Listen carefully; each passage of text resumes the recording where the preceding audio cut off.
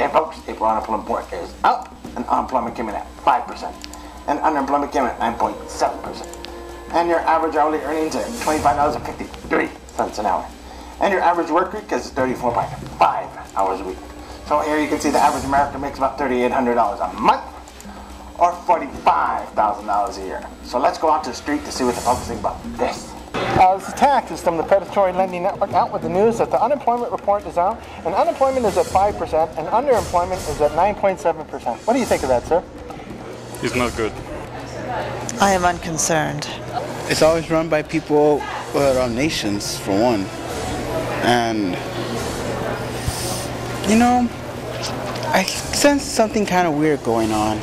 I believe that the statistical analysis capabilities of Earthlings are not always correct. Well, the number of part-time workers has had little change since November. How do you feel about that? Can I still eat them? Well, I like to hunt them. It doesn't matter to me if my food is work. That seems reasonable. That does seem reasonable. I notice a lot of people who are working only part time. For example, some of my fellow Avengers are only busy when duty calls. Corrupt system, you deserve what you get. I see it as um, raising the minimum wage. That's the way I see it, but don't have to agree with me. Now, of the 20,000 new jobs in the financial service sector, 8,000 of them were in debt collection. What do you think of that? I am not certain what to think. Debt collection. Explain.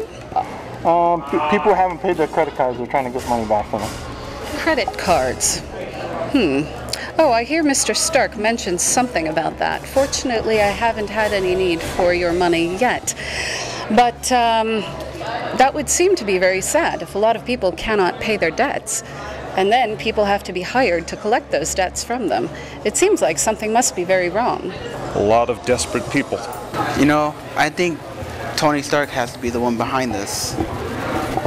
I knew it all along he has. I'm not certain you understand the way this works. Now, the average hourly earnings uh, grew by 8 cents to $25.53. What do you make of that? Miss Edith doesn't like you. Is that a lot? A little? I'm sure I don't know. I'm still trying to figure out who I am and why I'm here, so I couldn't tell you about um, the financial services sector or the amount of earnings or anything else. I'm just a little confused these days. Perhaps someday when I figure this out, I'll be able to figure out other things as well. I think, you know, I know Stark has tried to um, recruit a student from Queens. I know that for sure. Um, probably not a great game, not as high as it should be. So, in closing, is there any last minute things you'd like to say? I can see the stars. Uh, yes, uh, Captain America, if you would kindly give yourself up, we would appreciate it. It is for the greater good. Thank you. You know, after spoilers for all of you, after beating up Stark and realizing that his adventures are his, I have no comment and no questions answered to this.